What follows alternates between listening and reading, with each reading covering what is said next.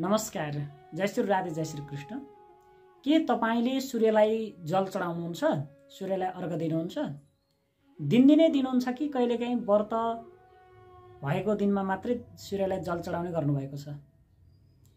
यदि तपाईँले सूर्यलाई जल चढाउने गर्नुहुन्छ भने सूर्यलाई जल चढाउँदाखेरि ख्याल गर्नुपर्ने नियम अथवा चाहिँ केही कुराहरू शास्त्रीय जानकारी चाहिँ तपाईँलाई भएकै हुनुपर्दछ। र हामीहरूले सूर्यलाई जल चढाउँदै गर्दाखेरि केही चिजहरू मिसाएर हामीहरूले सूर्यलाई जल चढायौँ भने हरेक समस्याबाट हामीहरू मुक्त हुन पनि सक्छौँ। सूर्यलाई त भविष्य पुराणमा सूर्यको विषयमा अत्यन्तै ठुलो महिमा गान गरिएको छ।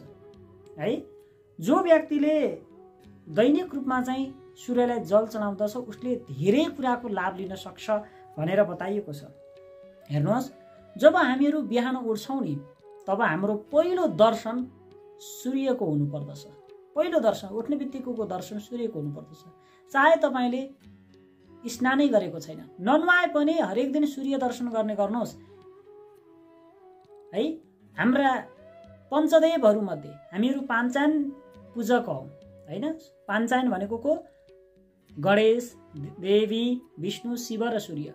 यी पाँचवटा देवताहरूमध्ये चारवटा देवतालाई हामीहरूले देख्न अब सामान्य तरिकाले देख्न गाह्रो छ। तर सूर्य देवता भनेको प्रत्यक्ष देवता हेर्नुहोस् त सूर्यलाई त हामीहरूले प्रत्यक्ष रूपमा देख्न सक्छौँ। अन्य देवताको लागि विशेष तप ध्यान अथवा विशेष कृपा अनुग्रहको माध्यमबाट मात्रै भगवत कृपा नभएसम्म देख्न सकिँदैन तर सूर्य देवतालाई देख्न सक्छौँ र साक्षात् देवताको दर्शन हो सूर्यको दर्शन भनेको।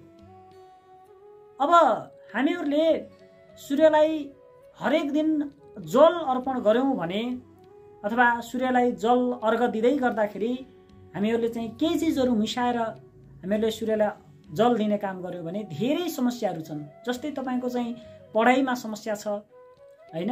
जागिरमा समस्या छ काममा समस्या छ व्यापार व्यवसायमा समस्या छ घरमा सन्तानको विवाह नभएर समस्या छ तपाईँ आफ्नै विवाह नभएर समस्या छ सन्तान नभएर विवाह समस्याहरू छन्। होइन? यस्ता विभिन्न किसिमका समस्याहरू हरेक समस्याको लागि उपायहरू छन् र बताइएको छ। त्यसैले त सूर्यलाई जल चढाउनु पर्दछ। सूर्यलाई जल चढाउनका निमित्त सबैभन्दा पहिलो कुरा त हामीहरूले स्नान गरेर जल चढाउनु पर्छ। बिना स्नान सूर्यलाई जल चढाउने होइन। हेर्नुहोस् र सूर्यलाई जल चढाउने भइसके पछाडि हामीहरूको चाहिँ दिनचर्या पनि सूर्योदय हुनुभन्दा पहिला नै उठेको हुनुपर्दछ हामीहरू र उदाउँदै गरेको सूर्यलाई जल चढाउने हो। हेर्नुहोस् है। सूर्योदय हुनुभन्दा पहिला नै उठ्नु पर्दछ जो व्यक्ति सूर्योदय हुनुभन्दा पहिला नै उठेर उदाउँदै गरेको सूर्यलाई जल चढाउँदछ उसको चाहिँ सूर्य मजबुत हुन्छ। सूर्य मजबुत भयो भने उसमा चाहिँ कन्फिडेन्स लेभल बढ्छ आत्मविश्वास बढ्छ। सूर्यले धेरै कुराको प्रतिनिधित्व गर्छ होइन? अनि गएर जो व्यक्ति अबेरसम्म सुत्छ सूर्य उदय भइसक्यो तब पनि सुत्छ। अब नौ दस बजे उठेर त्यहाँबाट सूर्यलाई जल चढाउनु भनेर लाग्छ त्यो जल चढाइ हुँदैन। यसरी चाहिँ अबेरसम्म सुत्ने व्यक्तिको सूर्य ग्रह कमजोर हुन्छ। सूर्य ग्रह कमजोर भयो भने सूर्य भनेको ग्रहको राजा हो। मात्र एउटा ग्रह मात्रै सूर्य ग्रह मात्रै प्रसन्न हुने हो र मजबुत हुने हो भने तपाईँको कुण्डलीमा भएका अरू दोषले केही गर्दैनन्। त्यस्तो किसिमको कुरा शास्त्रमा बताइएको छ। त्यसैले चाहिँ हामीहरू सबभन्दा पहिला त बिहानै उठ्नुपर्छ। बिहान सूर्योदय हुनुभन्दा पहिला उठ्नुपर्छ।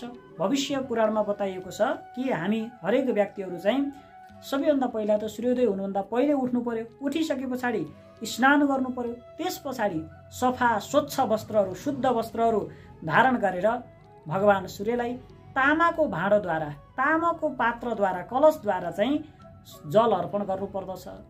र सूर्यलाई चाहिँ सकेसम्म जहाँबाट सूर्य देखिन्छ अब छतबाट बाल्कनीबाट होइन कौशीबाट जहाँबाट चाहिँ सूर्य देखिन्छ सूर्य देखिने ठाउँमा गएर सूर्यलाई जल अर्पण गरेको अत्यन्तै राम्रो तर अब तपाईँ कोठामा हुनुहुन्छ अथवा तपाईँ यस्तो ठाउँमा हुनुहुन्छ त्यहाँबाट सूर्य देखिँदै देखिन्न। त्यस्तो ठाउँमा हुनुहुन्छ भने त्यही स्थानमा पनि भगवान् सूर्यको स्मरण गरेर अगाडिपट्टि एउटा भाँडो केही पात्र राखेर सूर्यलाई हामीहरूले जल चढाउनु पर्दछ। कोठामै भए पनि हामीहरूले सूर्यलाई जल चढाउनु पर्दछ। अब सूर्यलाई जल चढाउँदै गर्दाखेरि हामीहरूले ख्याल गर्नुपर्ने कुरा के हो त भन्दाखेरि जब हामीहरूले सूर्यलाई जल चढाउनका निमित्त भाँडो चाहिँ लिन्छौँ दुवै हातले चाहिँ त्यो भाँडो लिनुपर्छ। कसैले चाहिँ एउटा हातले यसरी चढाएको देख्छौँ हामीले त्यो पनि शास्त्रीय विधि होइन। एउटा हातले चढाउने त्यो विधि होइन। त्यो सूर्यलाई जल चढाउनका निमित्त अम्खरा कलश जे भन्छौँ हामीले जुन पात्र छ त्यो पात्र हामीहरूले यसरी लिनुपर्दछ र यो बुढी औँलाले चाहिँ त्यो पात्र छोएको हुनु हुँदैन। ख्याल गर्नुहोस् है। त्यो बुढी औँलाले पात्र छोएको त्यो भाँडो छोएको हुनु हुँदैन सूर्यलाई जल चढाउँदाखेरि र हामी हल्का निहुरिएको हुनुपर्दछ। सूर्यलाई जल चढाउँदा हामी हल्का निहुरिएर यी दुवै बुढी औँलाले नछोइकन सूर्यलाई जल चढाउनु पर्दछ बुढी औँलाले छोएर जल चढाउँदाखेरि त्यहाँनिर के हुने भयो? त्यसको चाहिँ फल मिल्ने भएन। जुन किसिमको हामीलाई फल मिल्नुपर्ने हो त्यो किसिमको फल मिल्दैन। अर्को कुरा सूर्यलाई जल चढाउँदैछौँ हामीले। यसरी बुढी औँलाले नछोइकन यसरी जल चढाउँदैछौँ। जल चढाउँदै गर्दाखेरि हल्का निहुरिएर त्यो जल को त्यो जलको जुन धारा बगिरहेको हुन्छ त्यो धारामा सूर्यबाट आएका किरणहरूले किरणहरू आएर चाहिँ जस्तो किसिमको एउटा इन्द्रेणी बनिरहेको हुन्छ हो त्यसलाई चाहिँ हामीले चाहिँ हेरेको हुनुपर्दछ होइन? त्यो चाहिँ हामीले अनि अर्को कुरा चाहिँ सूर्यलाई जल चढाउँदाखेरि सूर्यलाई चढाएको जल चाहिँ हाम त्यसको चाहिँ छिड्काहरू चाहिँ हाम्रो शरीरमा लाग्नु हुँदैन। त्यसैले तलपट्टि एउटा केही भाँडो राखेर त्यो भाँडोमाथि चाहिँ त्यो पात्रमाथि केही पात्रहरू राखेर त्यसमाथि चाहिँ जल चढाउँदाखेरि त्यो अत्यन्तै राम्रो हुन्छ। अनि सूर्यलाई जल चढाउँदाखेरि यो कुराहरू अनि गएर चाहिँ हामीहरूले अर्को कुरा के ख्याल गर्नुपर्दछ त भन्दाखेरि सूर्य सूर्यलाई जल चढाउँदाखेरि हामीहरूले मन्त्र भन्दै जल चढाउनु पर्दछ। सूर्यलाई भन्ने मन्त्रहरू के हुन् त भन्दाखेरि ओम घृणिही सूर्याय नमः ओम घृणिही सूर्याय नमः। घृणिही भन्न अप्ठ्यारो भयो भने ओम सूर्याय नम। यति मात्रै भन्दा पनि हुन्छ अथवा ओम भास्कराय नम अथवा हजुरहरूले चाहिँ ओम आदित्याय नम ओम भानवे नम कुनै पनि मन्त्र ओम घृणी सूर्याय नम धेरैले जान्नुभएको हुन्छ। यही मन्त्र भन्दै सूर्यलाई चाहिँ हामीहरूले जल चढाउनु पर्ने हुन्छ। सूर्यलाई जल चढाउनु पर्दाखेरि यस्ता किसिमका मन्त्रहरू भन्नु पर्यो होइन? र सूर्यलाई जल चढाउँदाखेरि हामीहरू जहिले पनि पूर्वपट्टि फर्किएर आफ्नो मुख चाहिँ पूर्वपट्टि फर्काएर सूर्यलाई जल चढाउनु पर्ने हुन्छ। त्यो कुरा पनि यहाँनिर भनिएको छ। अनि गएर चाहिँ हामीहरू थोरै झुकेर चाहिँ हामीहरूले चाहिँ दिनुपर्छ भनेर बताइएको छ भने सूर्यलाई तपाईँले यसरी जल चढाइसके पछाडि सूर्यलाई चाहिँ हेर्नुपर्छ। र सूर्यलाई हेर्ने भनेको कसरी हो त भन्दाखेरि जस्तै यो मेरो दुइटा हात भयो होइन? यसरी त पहिला सुरुमा चाहिँ यसो गर्नुहोस् ए होइन?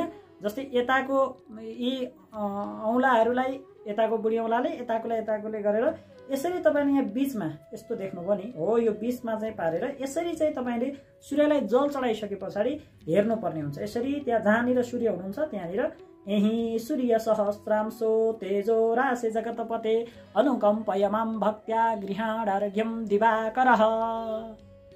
यही भनेर। यही सूर्य सहस्रांशो तेजो राशे जगतपते अनुकम्पयमाम भक्त्या गृहाणार्घ्यम दिवाकर। यो मन्त्र भन्दै सूर्यलाई हेर्नु पर्दछ। यो मन्त्र आएन भने पनि ओम सूर्याय नम भन्दै सूर्यलाई हेर्नु पर्दछ। सूर्यलाई हेरिसके पछाडि हामीले हाम्रो नजिकै फुलहरू छन् भने दुईवटा फुलहरू लिएर यसरी दुईवटा फुलहरू हातमा लिएर उपस्थान गर्नुपर्दछ। सूर्यदेवको चाहिँ उपस्थान गर्नुपर्दछ सूर्यलाई हेरिसके पछाडि। सूर्यलाई चाहिँ सूर्यदेवको उपस्थान गर्ने भनेको दुईवटा फुल लिएर चाहिँ अब मन्त्र आयो। मन्त्र भन्ने अब मन्त्र आएन भने पनि ओम सूर्याएन हे सूर्य देवता म तपाईँको शरणमा पर्दछु। शरणमा परेको छु हे प्रभु मलाई शक्ति दिनुहोस् मलाई बल दिनुहोस् होइन? मेरो चाहिँ मलाई चाहिँ आत्मविश्वास चाहिँ बढ्ने किसिमको चाहिँ शक्ति बल दिनुहोस्। मैले आज यस्तो काम गर्न लागेको छु। यो काममा चाहिँ मलाई सफलता दिनुहोस्। हे सूर्य देवता म हजुरको शरणमा सिलेन्डर गर्ने भन्छ नि। कहिलेकाहीँ आत्मसमर्पण हो। यो चाहिँ भगवान् सूर्यलाई चाहिँ आत्मसमर्पण गर्ने। यसरी आत्मसमर्पण गर्ने अनि त्यही फुल लिएर नमस्कार गर्ने। अनि यो मन्त्र चाहिँ हामीहरूले भन्न सक्छौँ। नम सवित्रे जगदेक चक्षुषे जगत प्रसुति स्थितिनाश हेतवे त्रयीमयाय त्रिगुणात्मधारिणे विरिञ्च नारायण शङ्करात्मने भन्न आयो भन्ने नभए हे सूर्य देवता म हजुरको प्रार्थना गर्दछु हे प्रभु मैले आज यसरी चाहिँ जल चढाएको छु यो अर्घ दिएको छु यो जलबाट हजुर प्रसन्न भए हुनुहोस् है। मेरो घर परिवारमाथि हजुरको चाहिँ सदा सर्वदा आशीर्वाद प्राप्त होस् भनेर प्रार्थना गर्ने प्रार्थना गरिसके पछाडि हामीहरूले यसरी चाहिँ सूर्यलाई अर्घ दिने त जल चढाउने भन्छौँ हामीहरू। जल चढाउने त एउटा विधि हुन्छ नि त। यसरी चाहिँ हामीहरूले चाहिँ नमस्कार गर्नुपर्दछ र म नमस्कार गरिसके पछाडि हामीले अर्को कुरा ख्याल गर्नु कुरा कुरा के छ भन्दाखेरि अनि हामीहरू परिक्रमा गर्नुपर्दछ सूर्यदेवको। जस्तै तपाईँ शिवालय मन्दिरमा जानुभयो भने पनि शिवालय मन्दिरको परिक्रमा गर्नुहुन्छ विष्णु मन्दिर कुनै पनि मन्दिर जाँदा हामी परिक्रमा गर्छौँ। त्यसै गरेर सूर्यदेव भगवान्को परिक्रमा गर्ने। अब सूर्य भगवान्को परिक्रमा गर्दाखेरि अब कसरी गर्ने त? सूर्यदेव त उहाँ हुनुहुन्छ कसरी परिक्रमा भन्दा आफू जुन स्थानमा उभिएको छ त्यही स्थानमा सर घुम्ने। मात्र एकचोटि घुम्दा पनि हुन्छ। कहीँ कहीँ शास्त्रमा सातचोटि भनिएको छ।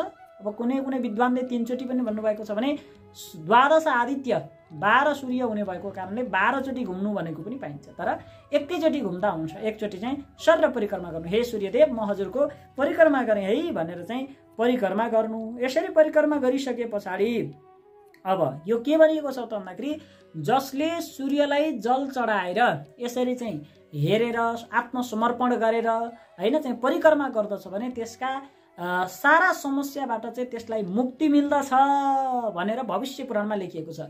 र जो व्यक्तिले सूर्यलाई जल चढाएर परिक्रमा गर्दैन भने त्यसलाई सूर्यलाई जल चढाएको जुन किसिमको फल प्राप्त हुनुपर्ने हो त्यो फल प्राप्त हुँदैन भनेर पनि भविष्य पुराणमा यो कुरा लेखा लेखेको छ। र जो व्यक्तिले सूर्यलाई जल चढाइसके पछाडि अनि गएर उसले चाहिँ परिक्रमा गर्दछ भने त्यसका सम्पूर्ण इच्छाहरू मनोकाङ्क्षाहरू पूर्ण हुन्छन् भनेर चाहिँ बताइएको छ। त्यस पछाडिबाट चाहिँ अर्को कुरा के छ त भन्दाखेरि सूर्यलाई जल चढाउँदाखेरि चाहिँ हामीहरूले जुत्ता चप्पल लगाएको हुनु हुँदैन आजभोलिकोमा मान्छेहरूले चाहिँ होइन अब मर्निङ वाक भनेर निस्कियो अनि चाहिँ बाटोमा धारो हुन्छ सूर्य उदय भयो अनि चाहिँ त्यहीँनिर जुत्ता चप्पलसित चाहिँ सूर्यलाई अर्घ दिएको देखिरहेको। त्यो गल्ती नगर्नुहोस् तपाईँले सूर्यलाई जल चढाउँदाखेरि हामीले त्यस्तो गल्ती गर्ने सूर्यलाई जल चढाउँदा हामीहरू भगवान्को पूजा गर्दैछौँ। भगवान्को पूजा पनि जुत्ता चप्पल लाएर गरिन्छ। त्यो त हुनै सक्दैन। जुत्ता चप्पल लाएर होइन जुत्ता चप्पल नलाइकन हामीहरू चाहिँ सु सफा शुद्ध स्वच्छ भएर चाहिँ गर्नुपर्ने काम अघि बताएको विधि अनुसार गर्नुपर्छ। र यसरी परिक्रमा गरिसके पछाडि अब चाहिँ हामीले जहाँनिर सूर्यलाई जल चढाएका थियौँ त्यो जल चाहिँ यो बुढी औँलाले र साइली औँला जुन यो रिङ फिङ्गर भन्छ होइन अनामिका औँला बुढी औँलाले र साइली औँलाले जहाँनिर जल चढाएका छौँ त्यो जलमा यी दुईवटा औँलालाई ल्याएर चाहिँ चोप्ने त्यो जलमा चोप्ने अनि ल्याएर चाहिँ आँखामा लगाउनु पर्दछ अनि शिरमा लगाउनु पर्दछ भनिन्छ। यो गर्नाले चाहिँ हाम्रो चाहिँ तेज शक्ति चाहिँ बढेर आउँछ। सूर्यको चाहिँ आशीर्वाद प्राप्त हुन्छ। तेज शक्ति वृद्धिका निमित्त यो गर्नु भनिन्छ। हामीले जहाँनिर जल चढाएका छौँ त्यो जल चाहिँ बुढी औँलाले र साइली त्यसलाई चाहिँ आँखामा लगाउने शिरमा लगाउने चाहिँ गर्नुपर्दछ निधारमा चाहिँ लगाउने। यो गर्नाले सूर्यको आशीर्वाद तेज प्राप्ति हुन्छ। यो गरेपछि मात्रै चाहिँ हाम्रो के हुन्छ? भन्दाखेरि यसले बल्ल हाम्रो सूर्यलाई जल पूर्ण तरिकाले हुन्छ। तमाम मान्छेहरूले चाहिँ सूर्यलाई जल चढाउँछौँ भन्नुहुन्छ। हामीले के सूर्यलाई जल चढाउनु जानेका रहेछौँ त? रहेनछ नि त। हो सूर्यलाई जल चढाउने यो विधिसम्म रूपमा यसरी जल चढायो भने फल मिल्छ। सूर्यलाई जल चढाउनाले सूर्य ग्रह मजबुत हुन्छ र सूर्य ग्रह मजबुत हुनु भनेको हामीलाई सम्पूर्ण कुराबाट चाहिँ हामीलाई चाहिँ सबै कुरा चाहिँ राम्रो हुनु जस्तै अब चाहिँ के भनिन्छ त भन्दाखेरि अब धन प्राप्तिका लागि तपाईँले चाहिँ निकै आर्थिक सङ्कटमा हुनुहुन्छ तपाईँ। आर्थिक समस्यामा धेरै पर्नु भएको छ होइन? अनि गएर चाहिँ ऋणले सताएको छ ऋणको पनि भारी भएको छ होइन? व्यापार व्यवसाय गर्नुहुन्छ व्यापार व्यवसाय पनि राम्रोसँग चलेको छैन भने तपाईँले चाहिँ अब सूर्यलाई जल चढाउने भाँडोमा यही चिजहरू मिसाएर जल चढाउनुहोस्। जस्तै सबैभन्दा पहिला त तामाको पात्र हुनु पर्यो त्यसमा सफा शुद्ध जल हुनु पर्यो त्यसमा सयपत्री फुल हाल्नुहोस् अनि गएर कुमकुम राख्नुहोस् अनि गएर नटुक्रिएका चामल अक्षता केलाएर अक्षता राख्नुहोस् र प्रतिदिन यी चिजहरू मिसाएर तपाईँले सूर्यलाई अर्घ दिनुहोस् तपाईँको चाहिँ गएर धन वृद्धि हुन्छ कार्यमा सफलता मिल्छ ऋण तपाईँको हट्दै जान्छ आम्दानीका स्रोतहरू बढ्छन् र व्यापार व्यवसाय पनि राम्रो हुन्छ। यो चाहिँ आर्थिक लाभका निमित्त यसरी चाहिँ तपाईँले तामाको भाँडोमा सयपत्री फुल कुमकुम र अक्षता मिसाएर दैनिक जल चढाउनुहोस्। यो भविष्य पुराणमा लेखिएको कुरो। अर्को कुरा यदि तपाईँको विवाहमा बाधा आएको छ। सन्तानको अथवा चाहिँ तपाईँ आफ्नै अब उमेर भयो होइन?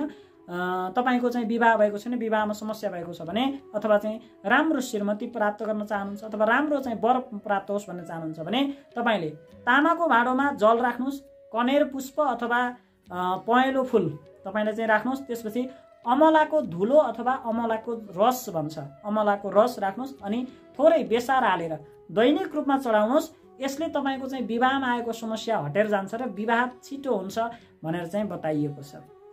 है त्यस्तै गरेर अर्को रहेको छ सन्तानमा समस्या।